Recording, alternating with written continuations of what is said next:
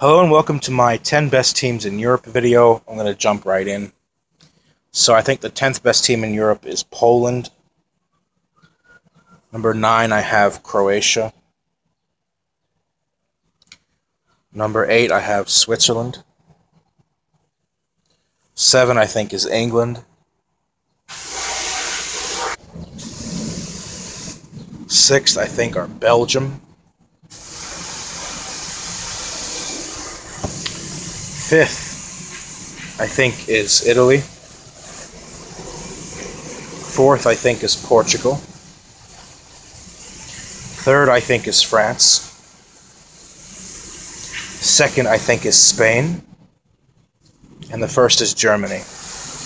I have Spain over France because France are, are better individually speaking, talent wise, but I just think that Spain they usually have France's number whenever they play them uh, in recent years.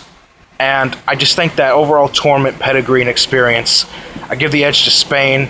I also think tactics wise, uh, Spain's style of football really easily frustrates France. And I think France is like Belgium. They're a team that is loaded with talent, but they haven't been playing to their full potential. And I do think Spain is better than them. Uh, and recent results show that as well.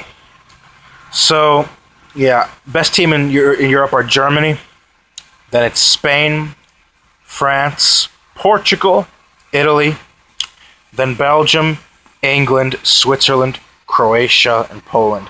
This is my top 10, with one being here, 10 being over here.